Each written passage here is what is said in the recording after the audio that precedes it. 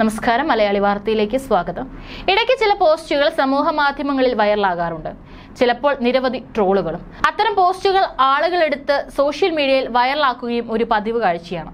ഇപ്പോഴിത് അത്തരത്തിലൊരു ഫേസ്ബുക്ക് പോസ്റ്റാണ് വൈറലാകുന്നത്. നായർ സമൂഹത്തിലെ ആൺകുട്ടികൾക്ക് പെണ്ണ് കിട്ടാതെ നിൽക്കുകയാണെന്ന അഭിപ്രായം പങ്കുവെച്ച ഒരു ഫേസ്ബുക്ക് കുറിപ്പ് സോഷ്യൽ മീഡിയയിൽ ട്രോളുകൾ ഏറ്റുവാങ്ങുകയാണ്. സുരേഷ് ജി നായർ എന്ന ഫേസ്ബുക്ക് പ്രൊഫൈലാണ് നായർ സമൂഹം അതിസങ്കീർണ അവസ്ഥയിലാകുമോ എന്ന തലക്കെട്ടിൽ കുറിപ്പ് പങ്കുവച്ചത്. നായന്മാരിലെ ആയിരക്കണക്കിന് പുരുഷന്മാർ വിവാഹം കഴിക്കാതെ നിൽക്കുകയാണെന്ന ഇയാളുടെ ആശങ്കയാണ് കുറിപ്പിൽ പറയുന്നത്. ഹൈദരാബാദിലെ നായർ സർവീസ് സൊസൈറ്റിയുടെ ജനറൽ സെക്രട്ടറി ആണെന്നാണ് ഇദ്ദേഹത്തിന്റെ ഫേസ്ബുക്ക് പ്രൊഫൈലിൽ അടയാളപ്പെടുത്തിയിരിക്കുന്നത്. രണ്ടായിരത്തി മുപ്പതോടുകൂടി ഇതര ജാതി മതസ്ഥർക്ക് അവർ പറയുന്ന ഡിമാൻഡ് അംഗീകരിച്ച് വിവാഹം നടത്തി കൊടുക്കേണ്ട ഗതികേട് നായർ സമൂഹത്തിന് ഉണ്ടാകുമെന്നും ഇയാൾ പറയുന്നു. നായർ സമൂഹത്തിലെ പുരുഷന്മാർക്ക് ആരും പരിഗണന പോലും കൊടുക്കുന്നില്ലെന്നും സമുദായ ആചാര്യന്മാരും സമുദായ നേതാക്കളും ഇതിനുവേണ്ടി അംഗങ്ങളിൽ അവബോധം ഉണ്ടാക്കണമെന്നും ഇയാൾ അഭിപ്രായപ്പെടുന്നു. ഈ പോസ്റ്റ് വലിയ രീതിയിൽ ട്രോളുകൾ ഏറ്റുവാങ്ങുന്നുണ്ട്. കിട്ടിയ റിയാക്ഷനിൽ കൂടുതൽ ലഭിച്ചത് ഹഹഹ ചിരിയും റിയാക്ഷനുമാണ്.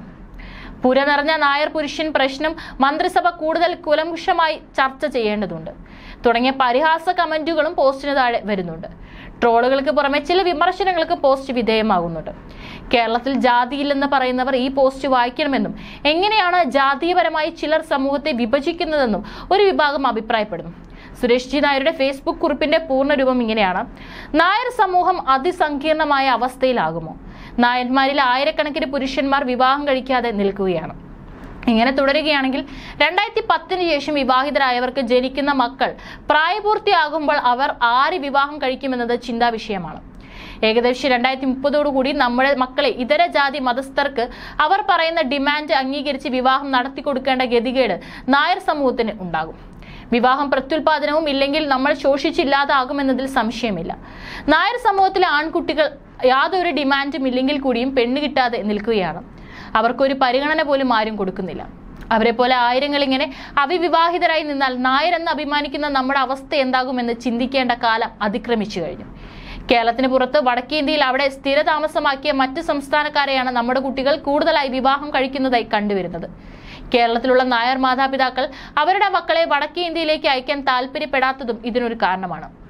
ഈ സമുദായം നിലനിൽക്കണമെങ്കിൽ ഓരോ വീട്ടിലും കുറഞ്ഞത് മൂന്ന് കുട്ടികൾ എന്ന നിലയിലേക്ക് നമ്മൾ കടക്കേണ്ടതാണ്. ഉടൻ തന്നെ ഇതിനൊരു പരിഹാരം കണ്ടെത്തിയേ മതിയാകൂ.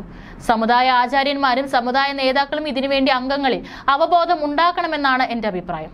എന്ന് പറഞ്ഞുകൊണ്ടാണ് പോസ്റ്റ് അവസാനിക്കുന്നത്. ഏതായാലും പോസ്റ്റിന് താഴെ നിരവധി ട്രോൾ കമന്റുകളാണ് രംഗത്ത് വരുന്നത്. കൂടാതെ ഈ ഒരു പോസ്റ്റ് സമൂഹ മാധ്യമങ്ങളിലും വൈറലാണ്.